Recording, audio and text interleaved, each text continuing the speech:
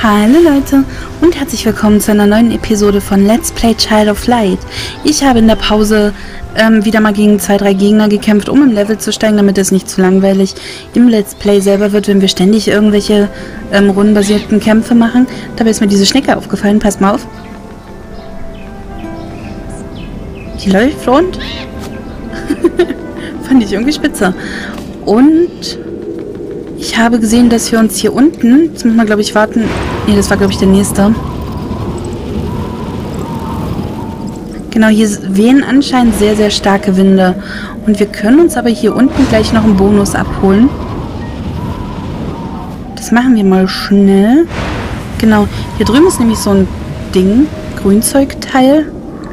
Und ich glaube, wir können es angreifen und hier geht es auch anscheinend irgendwo hin. Oh, konnten wir aus der Ferne öffnen. Das habe ich erst gar nicht gesehen. Aber können wir einfach rum drüber? Das macht gar nichts.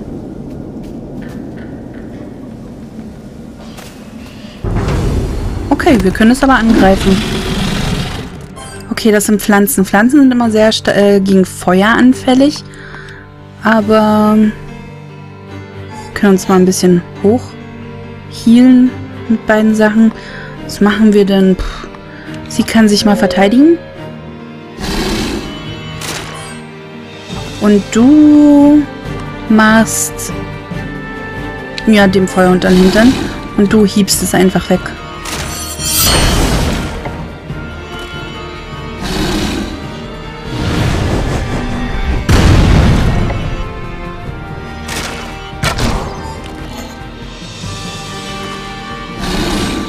Probieren wir es nochmal mit einem Hieb. Und wir probieren es als nächstes mit Feuer, weil... Oh Mist, ich dachte, der ist schon tot. Naja, ärgerlich.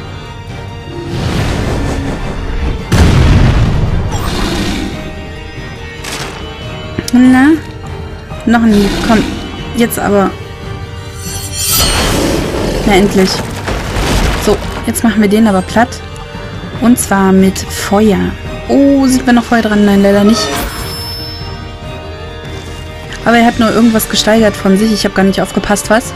Ich musste gerade mal auf den Timer schauen, ob ich denn alles noch hier in den Wagen habe. In den Wagen, in den Wogen. In der Waage halte. So. Und wir haben schon wieder Stufenaufstieg zu verzeichnen. Das ist super. Mich interessiert, wo es hier hinten... Hier geht es nicht weiter, ne? Wo kommen wir denn hier hin? Oh, Bonus, oder? Sieht so nach Bonus aus.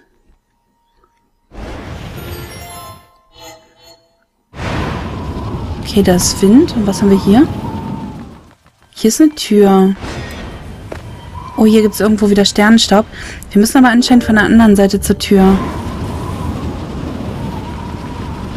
Oh Gott, oh Gott. Ah, sehr gut. Ich habe jetzt befürchtet, dass der Wind so stark ist, dass er uns zurückbläst gegen diese Teile. Oh Gott.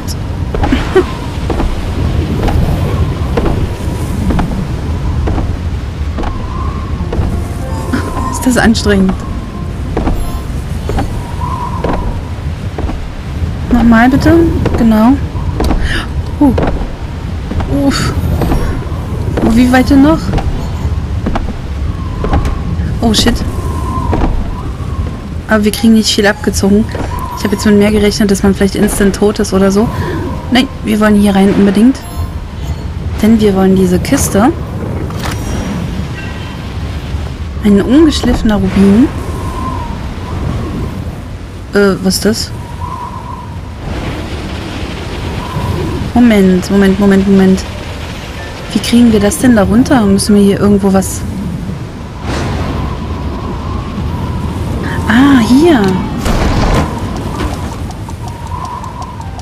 Okay. Aber das ist ja gar nicht relevant, irgendeine Zeit hier, oder?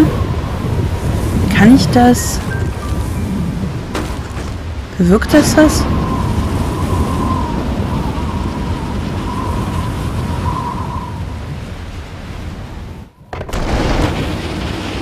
Okay.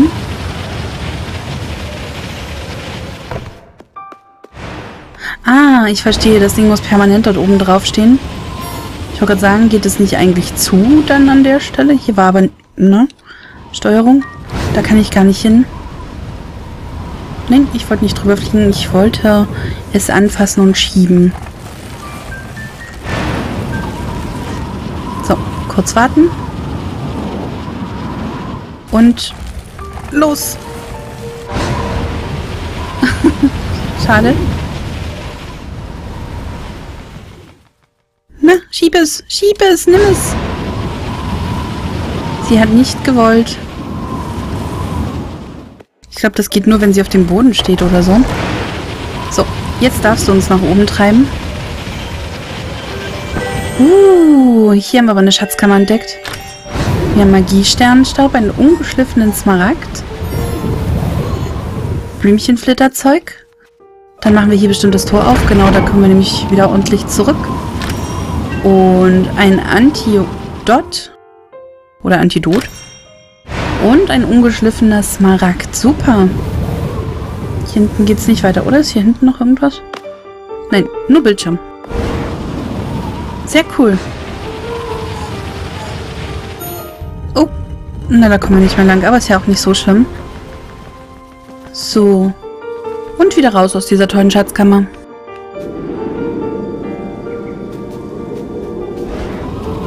Bewacht. Hier links drüben... Boah, voll oben dran gehämmert. Links drüben waren wir schon. Ah, nein, hier war ich alleine schon. Ich erinnere mich. Da habe ich nämlich erst unten das Ding entdeckt. Ich habe hier die Feinde besiegt, die sich hier rumgetrieben haben. Und habe dann unten dieses Vieh entdeckt vor der Tür. Und da dachte ich, das will ich mit euch zusammen machen.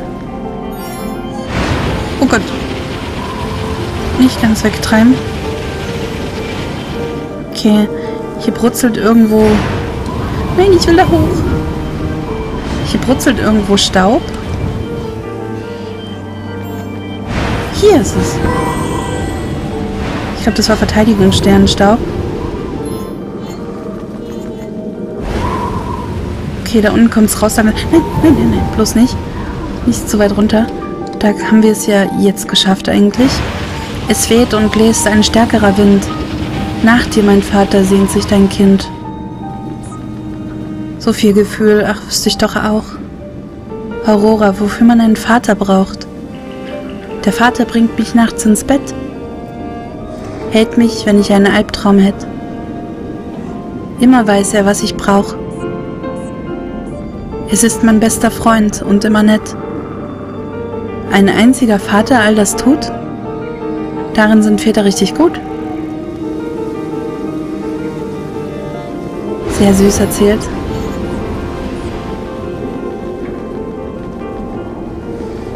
Oh, eine Kiste. Mit einem Rubinchen. Kommen wir hier noch irgendwo hin? Zettel. Sehr gut. Nein, nein, nicht zurück. Bitte nicht, nicht ganz zurück. Bitte nicht. Hm. Na dann, nochmal.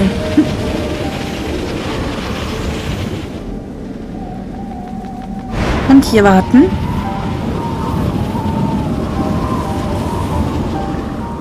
Also nicht mehr zurückgehen, wir merken uns das.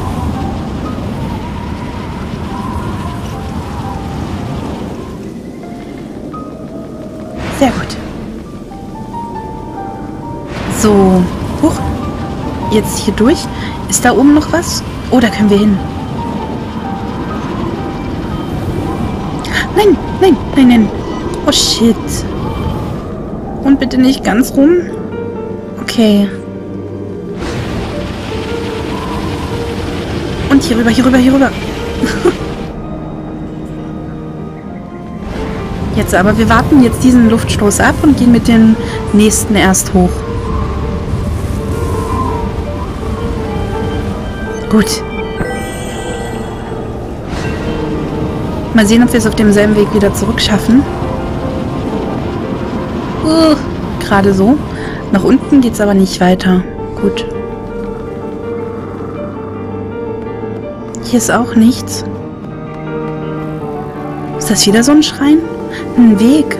zu den Rambert-Ebenen? Hier noch irgendwas? Schaut mal hier, der Golem.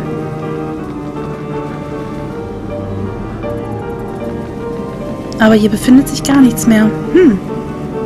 Na dann, gehen wir mal gucken.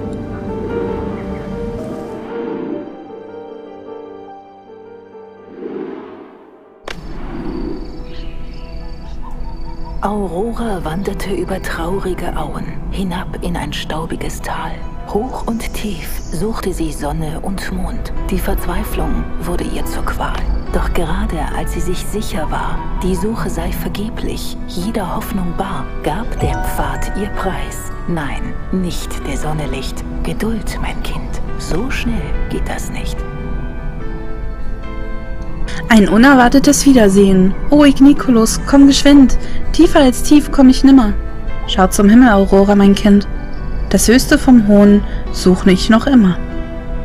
Was ich euch übrigens sagen wollte, ich kann leider den Sprachsound nicht separat anpassen. Also ich kann die Effekte ähm, trennen vom eigentlichen Sound. Die Stimme scheint aber an den Hintergrundsound gebunden zu sein, sodass die relativ leise ist. Würde ich den aber hochschrauben, haben die Effekte keinen Effekt mehr. Ja. Kiste. Ein Zaubertrank. Hier hinten geht es irgendwo zurück, ne? Genau.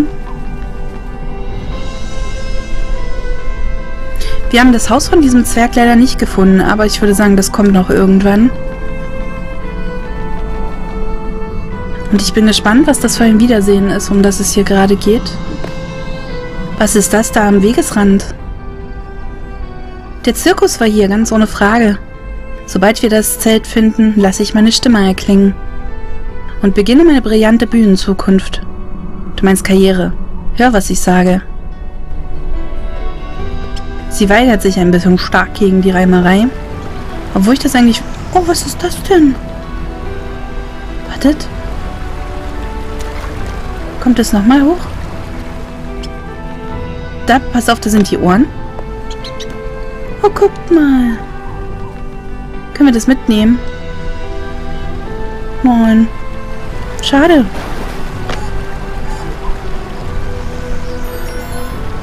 Ein bisschen gesäubert. Das kommt hier einfach vom Himmel. Und katapultiert uns nach unten. Da können wir rein. Und wir haben ein starkes Heiltonikum. Wir schauen noch gleich weiter. Ich habe bloß immer Angst in der Höhe und in der Tiefe gleichzeitig so viel zu verpassen, dass ich immer hoch und runter fliege. Oh. Du siehst nach einem Gegner aus. Was ist denn hier? Okay, das ist das so?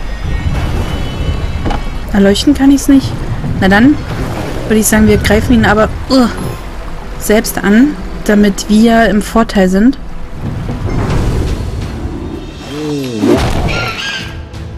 Okay, Sternenlicht einsetzen. Ähm. Wie sieht der denn aus, Jolz? Was könnte der denn... Schade, dass er nicht so was hat wie... Ich mache einfach mal Verteidigung. Und mit dir mache ich Sternenlicht auf alle.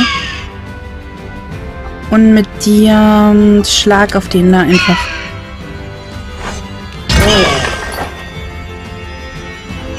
Nein! Der unterbricht mich. Nee, hat er nicht, Gott sei Dank. Okay. Sind wir die schon mal los? Und der macht einfach einen Schlag. Machen wir uns in der Zeit mal ein bisschen Zeug zurück, ein paar Pünktchen und so. Und mit ihr noch einen Hieb.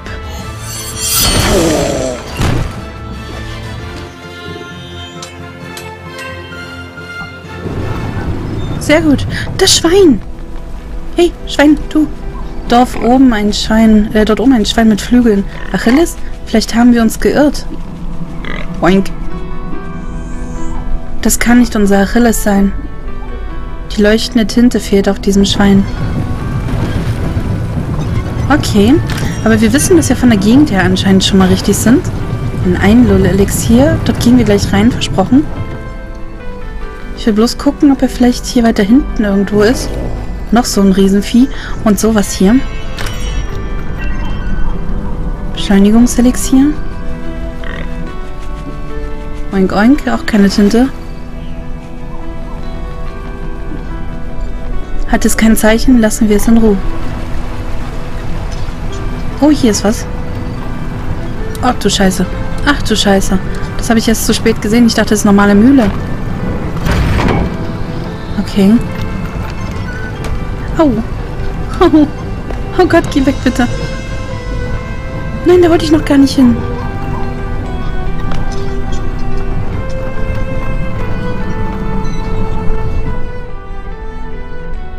Täuscht mich mein Auge? Nikolos, ist sie da? Ja, es ist meine mittlere Schwester, die süße Nora. Kann das denn sein? Du lagst im Bett.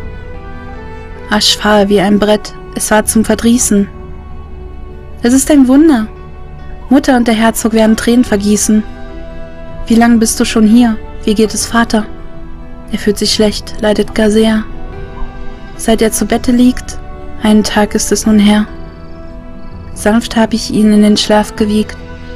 Amseln flogen durch die Luft. Wieder verströmte herrlichen Duft, dann das Grauen. Den Turm hinauf schleppte mich ein Schuft. Hilflos zerrte man mich in einen Spiegel hinein. Ein Spiegel? Ich frage dich, wo kann der sein? Gehen wir nach Haus zu Mutter und Vater. Frohen Mutes werde ich dich begleiten. Der Weg führt hoch in die Berge hinauf. Unterwegs warten viele Schwierigkeiten. Als Familie überwinden wir für wahr jedes Hindernis heute und immer da. Die Tintenaurora übrigens sieht ähm, ihr sehr ähnlich. Die hat auch so weißes, langes Haar. Und jetzt haben wir Nora in der Gruppe, hervorragend. Aber ich würde gerne erstmal hier hinten noch weiter gucken. Ganz vorsichtig. Aber liebe Leute, bevor wir das Schweinchen weitersuchen und hier hinten noch so lang gucken, was sich hier denn noch alles befindet, würde ich sagen, nehmen wir das hier mit. Huch. Hier ist nichts und äh, machen eine kleine Aufnahmepause, während ich hier noch durch die Luft fliege. Von hier drüben kommen wir ja, ne? Ja. Also hier kann das Schwein schon mal nicht gewesen sein. Ich hoffe, es fällt uns auch wirklich auf. Also ich würde die Quest echt sehr, sehr gern erfüllen. Aber bevor wir dort sind, gehen wir in diesen Tunnel hier hinein. Dort gibt es bestimmt irgendwas zu holen. Und wir machen eine, äh, eine kleine Aufnahmepause und legen in der nächsten Episode wieder los, wenn es heißt Let's Play Child of Light. Lasst uns das fliegende Schwein finden. Bis dann. Tschüss.